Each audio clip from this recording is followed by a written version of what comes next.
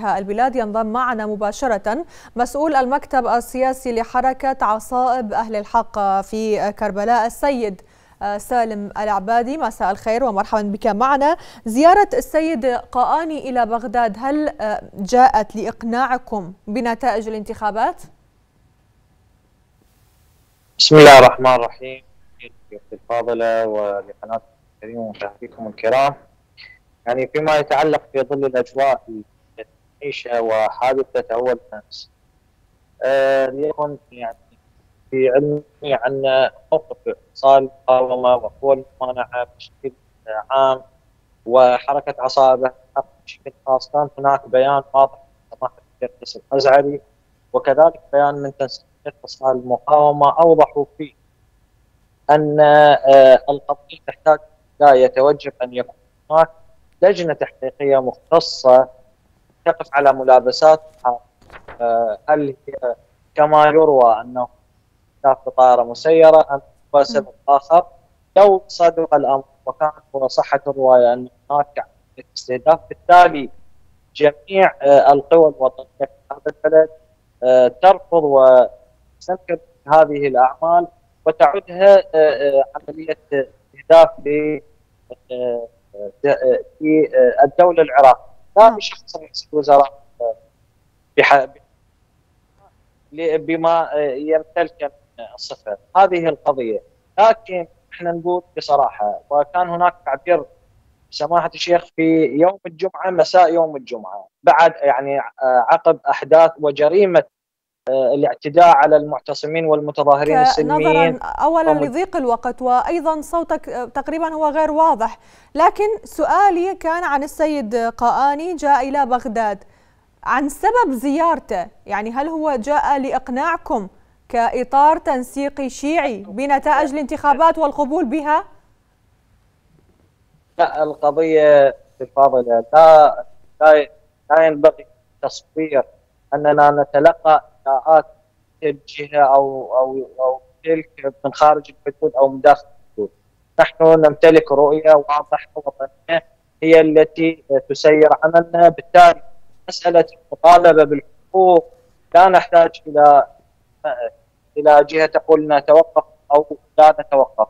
ما نراه على الساحة آه، كل ما يحصل من عملية استهداف وقتل للمتظاهرين و حادثة أول أمس كلها نعدها في إطار ثني القوى الرافضة لنتائج الانتخابات المفبركة وحجم الزيف الذي حصل فيها. من أجل ثنيهم من المضي قدما من أجل كشف تلك الملابسات والمؤامرة التي حصلت والالتفاف على الأصوات.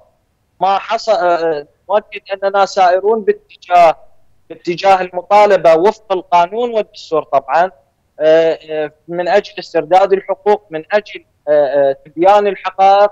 وهذه الجماهير المرابطة على بوابة الخضراء والمتظاهرين والمعتصمين دائل واضحة على أننا لا لا لا رجعة في مسألة المطالبه بحقوقنا. وننتظر لا رجعة هذا قبل الاستهداف لو بعد الاستهداف.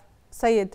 آه، سيد سالم لأنه بعد التصعيد واستهداف السيد الكاظمي الكثير يتحدث أنه بمثابة إطلاق رصاصة الرحمة على رفضكم لنتائج الانتخابات.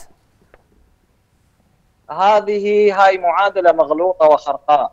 إحنا مطالبتنا قبل الحادثة وبعد الحادثة وحتى لو تكررت مثل هذه البروباغاندات إحنا نقول مسألتنا واضحة وأهدافنا واضحة ومطالبنا حقة وواضحة إحنا عندنا طيم وحي التحق بأصوات مناخبين بالتالي نطالب أنه يتم استرداد الحقوق وتبيان الحقائق وفق الطرق الدستورية والقانونية.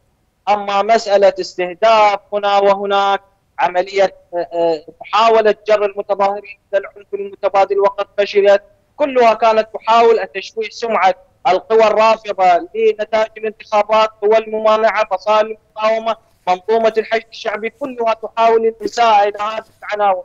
من أجل التنيهم من أجل الوصول إلى الحقيقة وكشف مدى الزيف الذي حصل والمؤامرة التي حصلت في الانتخابات الهزلية التي حصلت قبل فترة، هذا كله واضح القضية باتت واضحة سواء كانت عملية استهداف منزل رئيس الوزراء أو غيرها أو ما سيلحق من من سيناريوهات ربما توضع على الطاوله من أجل كلها من أجل إلساق التهم إلى هذه الفصائل وتنها و يعني إرغامها على القبول بتسويات خجولة وغير غير سيد غير سالم هل هناك طرف ثالث؟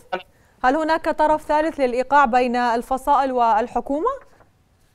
يعني الفاضلة من التسطيح للعقل والتفكير ومن السذاجه أن يقال أن يرقى بالتهمة إلى إلى القوى الممانعة للانتخابات للنتائج أو فصائل المقاومة لأنها قبل يومين تم الاعتداء عليها، بالتالي هل هل من السذاجة لهم أن يذهبوا إلى قصف بيت الكاظمي؟ هذا تسطيح للعقل، لأن نعلم جيدا أن هناك ثالثة وفي مقدمات الولايات المتحدة الأمريكية هي أول المتهمين إن صحت الرواية، أول المتهمين ولها سابقه في هذا العهد في هذه الأمور. من محاولة حتى تخلق عقل جمعي لدى الشباب العراقي أن وجود القوات الأمريكية على الأرض العراقية بات ضرورة وخاصة بعد اقتراب موعد انسحابها من العراق. يعني أمريكا الآن هي الطرف الثالث؟ واحدة من أهم الجهات المتهمة في الحادثة التي حصلت أول اول امس. واحدة من أهم الجهات المتهمة والا اسالك بالله منظومة السيرام اللي معروف عنها.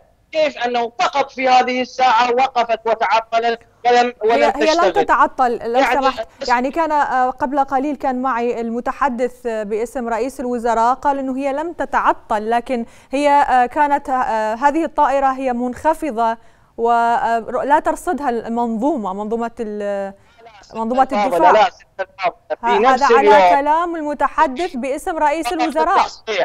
فقط للتصحيح. أنا اصحح لك أنا اصحح لك واصحح للشخص المعني في نفس اليوم في نفس اليوم صدر بيان للقوات المشتركة العراقية وتم سحبه بعد ساعات والبيان موجود.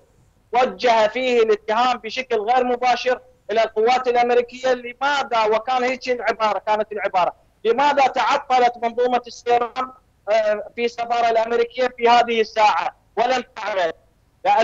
وسحب البيان بعد ضغط أمريكي.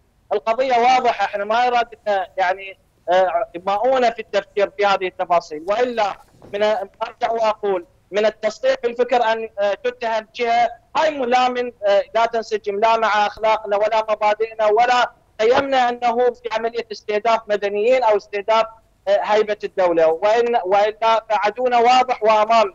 ولو أردنا أن نعمل لعملنا من من زمن بعيد. هاي مو أخلاقنا. هاي القضية واضحة. وبينت البيان يعني البيانات كانت واضحة. ماذا تريدون أكثر من هذا؟ البيانات واضحة في استهجان واستنكار مثل هذه الأفعال التي تحصل. وفي ذات اليوم ذات اليوم يوم الجمعة فقط هاي النقطة يجب أن تتضح جميع المشاهدين. يوم الجمعة بعد جريمة استهداف المتظاهرين وقتلهم وإصابة العشرات.